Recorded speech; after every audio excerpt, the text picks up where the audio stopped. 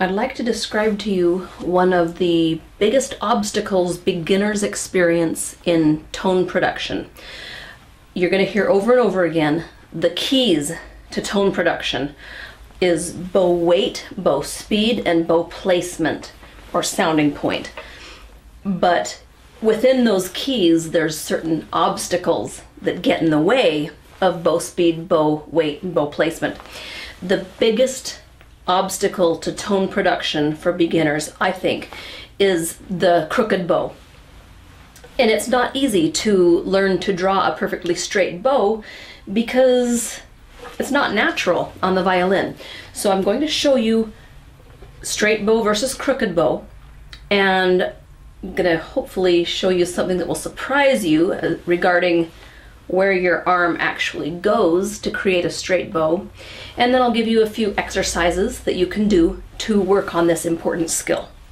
Okay, I like to start on the A string or the E string because each string is different. The straight bow requires different different uh, geometry with your arm to create a straight bow on every string. A string and E string is the easiest, so start with those.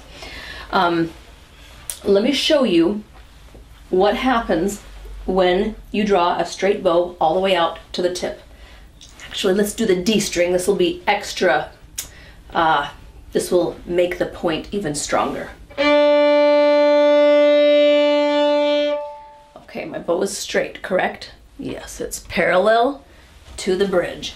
Now, I am going to not move a muscle. I'm just going to remove my bow and look where my arm is. My arm is straight out front, as if I wanted to reach out and grab my metronome or help myself to a piece of chocolate. You reach out in front of you when you bow a down bow, if you want a straight bow. The problem is we perceive that our bow is going across the front of our body, so we want to make our arm go across the front of our body and that just creates a big old nasty crooked bow. Instead, reach straight out front and look, you have a straight bow. Now, like I said, it's slightly different for each string. So this is the biggest tip I have to give to you, and I make all of my private students do it. In fact, I've, I've got a mirror right behind the camera right now. It's just a mirror is part of violin practice, and it still is for me, believe it or not. Sometimes I have to tune it up a little bit.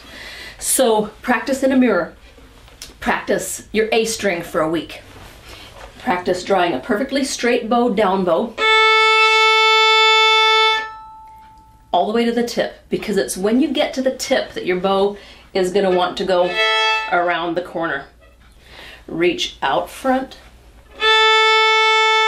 freeze, look in the mirror, close your eyes, and memorize that sensation. And then try to break away from the mirror and do a couple of bow strokes. And then try to surprise yourself. Just say, freeze, and check and see how you did.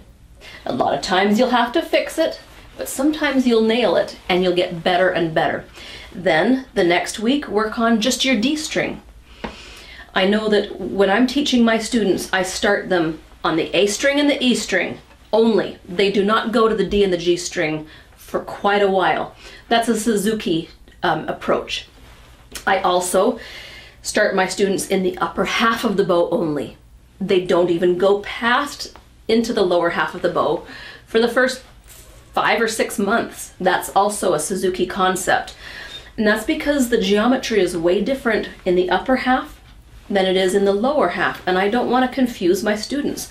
I want them to get good at one thing, then we add another thing. So let's talk briefly about the lower half of the bow. The lower half of the bow, as you're approaching the frog on an up bow, look at my wrist. We have to kink the wrist as if we were looking at a wristwatch not a lot, and you don't drop your elbow down like this into the praying mantis position. You want to keep it natural and beautiful and you don't want to kink anything because that just disrupts the flow of energy and the balance of weight. So, but it is a fact, if I don't bend my wrist a little bit, the tip of my bow is going to head around the back of my head and smack me in the head. And I would deserve it. to prevent that from happening, as you go up bow and as you approach the frog, you bend your wrist a little bit this way. As you go out to the tip, watch, the wrist will go the other way. Do you see that? So this is a tip position, and this is a frog position. Tip, frog. All right, so keep that in mind and that will greatly help your straight bow as well. But I think the, the most helpful thing is going to be practicing in a mirror and treating each string differently. That's two things. And the third thing is being aware that it's different in the upper half than it is in the lower half. All right, now, greasy elbow is the term that I coined for using your elbow instead of the shoulder. Some people act like they've got rust in their elbows and they don't work their elbows. They try to do it all with their shoulder. That's kind of inseparable from the straight bow. If you don't have a greasy elbow, you're not gonna get a straight bow. But I'm going to put that in a different video, which will follow right after this one. So I'll see you in the greasy elbow discussion.